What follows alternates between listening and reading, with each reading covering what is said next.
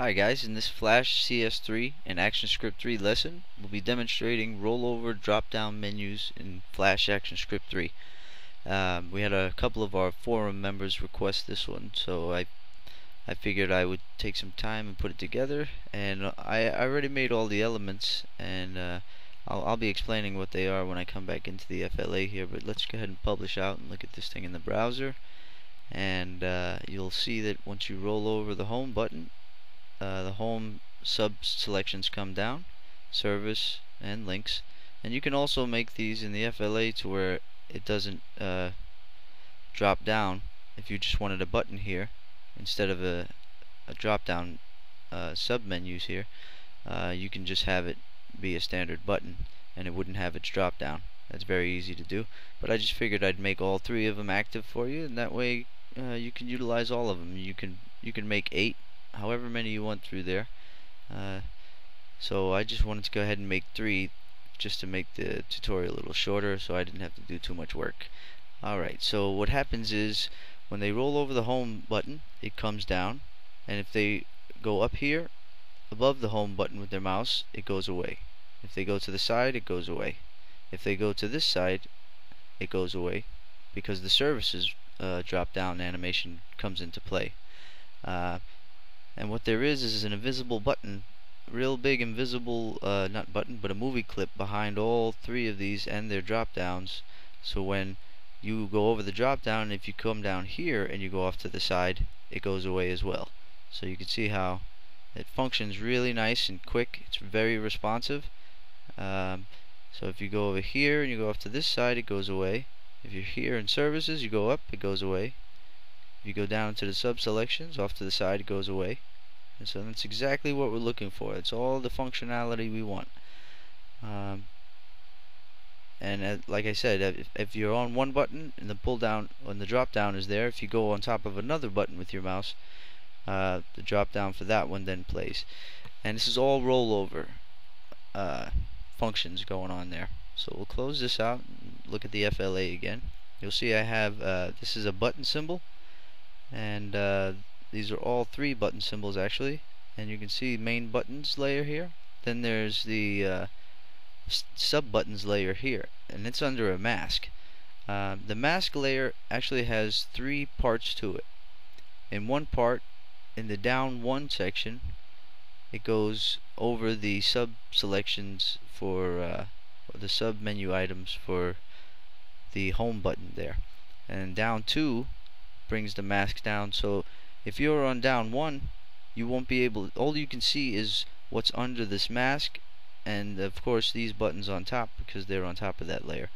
But underneath you'll see uh, only what's underneath the mask and you won't see these other five buttons here. When the down 2 plays, you'll see only the three buttons that are under the services menu and you won't see these four buttons here under home and these two buttons under links. And same thing when you when you roll over links, you won't see these other seven buttons. Uh, you'll only see the three main buttons on top and the two that are under links because the mask is animated to show them. When you roll over the home button it animates it goes and plays the down one function. So when you roll over the services button it goes and plays the down two function. When you roll over the links button it plays the down three function. And on the actions layer it's uh, simple uh, simple stop actions. Four simple stop actions so that one's not complicated at all. Uh, the script layer is uh, is set up to to get the rollover functions for the three main buttons and here's the listeners the event listeners for those three buttons. And it says go to and play down one. Uh, button 2 is go to and play down 2 and button 3 is go to and play down 3 and you can see how those animations are set up on the timeline there. And now down here this is very important. We have our um, invisible clip and it's script for it on these layers here. And those just make it to where when your mouse goes over this invisible clip that means the the menu item will snap back or the whole menu will snap back to frame 1 uh, basically and you can see that happening in the browser when when you hit when you uh, take your mouse off of the menu items and it goes over the invisible button anywhere, boom, it snaps back to frame 1. Boom, frame 1. Boom, frame 1. Boom, frame 1. Right there it's it's uh it's in drop 3. This is drop 2, it's drop 1. So if you're in drop 3, you roll over the invisible clip, boom, frame 1 automatically. So it just goes away. Okay, and what else do we need to tell you? I think that might be about it. The static text is for the sub buttons is under the mask, so you can't see those uh, unless you roll over the button. The main buttons are above the mask, so they're always visible, the three main buttons. Like I said, you can just make the uh, uh, the size of your flash file a little bit wider and put eight of these buttons through here and you would have down 1, down 2, down 3, down 4, down 5, down 6 and so on and so forth but it would all be structured in this in this fashion. And you have to have your invisible clip has to be on each one of those uh, down areas. It has to be have its own function name or else it'll give you a, a duplicate function error uh, but you can use one big clip uh, for that. And it's a lot easier that way. And I think that is everything. Like I said in the in the code here this is important. There's reference click code here.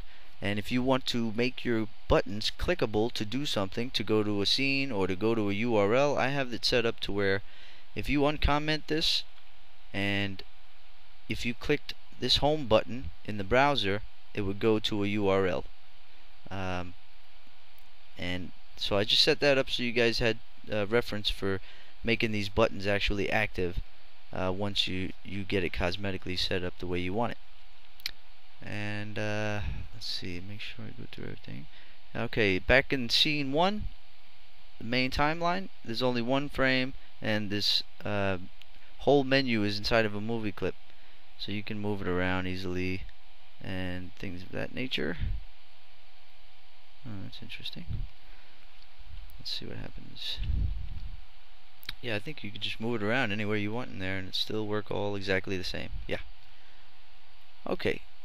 So before I reach over 10 minutes here, I'll leave you guys with it and I'm going to put the FLA for download.